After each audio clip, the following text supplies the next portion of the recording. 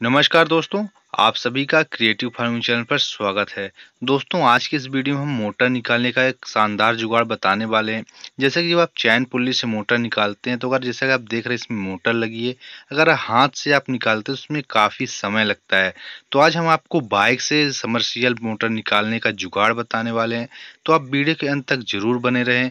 और जो किसान भाई हमारे चैनल पर पहली बार आ रहे हैं तो खेती किसानी से नई नई जानकारी पाने के लिए आप हमारे चैनल को ज़रूर सब्सक्राइब कर लें। तो दोस्तों आपको इसमें चैन पुल्ली की ज़रूरत होगी, जिससे कि आप आसानी से मोटरसाइकिल से आप ये मोटर निकाल पाएँ। तो जैसा कि दोस्तों आप देख पा रहे हैं, कुछ इस प्रकार से बाइक में जुगाड़ बना के मोटर निकालने का काम चल रहा है। जैसे कि आप ये देख रहे हैं वीडियो में, मोटर आसानी से निकल रही है। तो दोस्तों, आपको यह जुगाड़ बनाने के लिए बाइक में जिस, जहाँ पास चैन लगती है, चैन का सिस्टम रहता है, वहाँ पास कुछ इस प्रकार से आपको ये जुगाड़ लगा लेना है, बनाकर। जिसकी सहायता से आपके काम को आसानी होती है।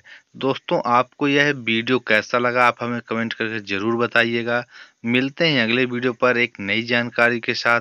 तब तक के लिए जय हिंद, जय किसान।